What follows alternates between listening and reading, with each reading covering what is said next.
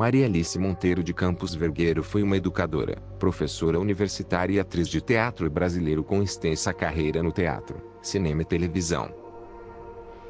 Maria Alice, da tradicional família Campos Vergueiro, tem 400 de sangue. No entanto, durante sua criação, sua família tinha poder aquisitivo de classe média alta.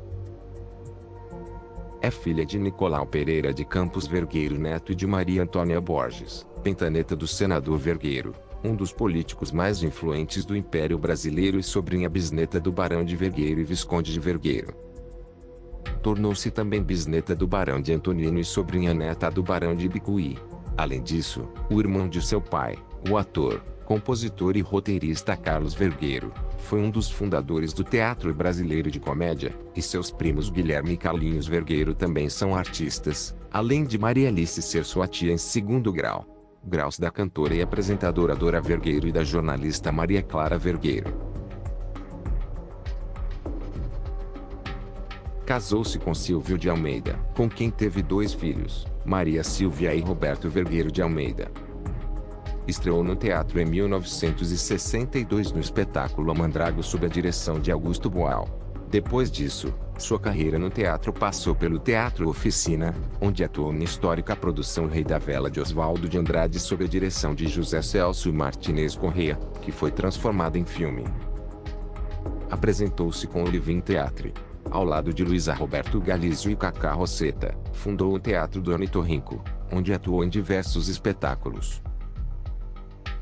Maria Alice também é professora de teatro na Faculdade Aplicada da Faculdade de Educação da Universidade de São Paulo e na Escola de Comunicações e Artes, ECA, da mesma universidade.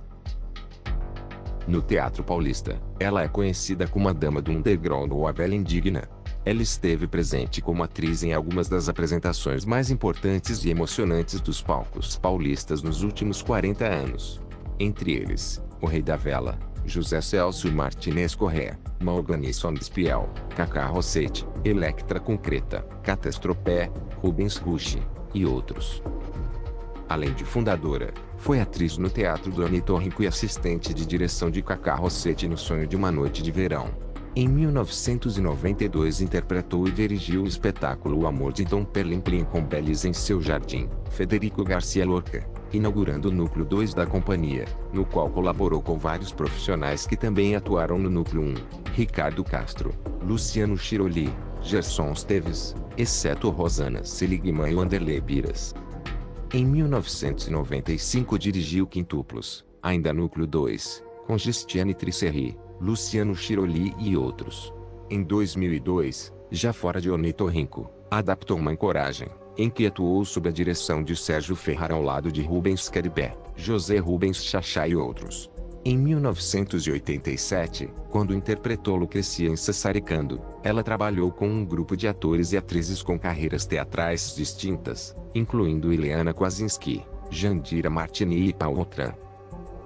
Recentemente, ficou famosa com o curta-metragem Tapa na Panteira, dirigido por Esmiro Filho, Mariana Bastos e Rafael Gomes no qual interpreta uma senhora que fuma maconha há 30 anos e fala sobre suas experiências com a droga. Criada pela própria atriz. O curta virou hit na internet em menos de uma semana após ser postado no YouTube, sem a autorização dos autores. Em 2016, estrelou o curta-metragem Rosinha, dirigido por Gui Campos. O filme conquistou mais de 40 prêmios nacionais e internacionais, incluindo o prêmio especial do júri no 44º Festival de Gramado.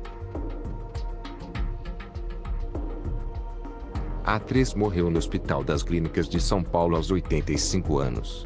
Ela foi vítima de uma pneumonia após ser internada na UTI com suspeita de coronavírus.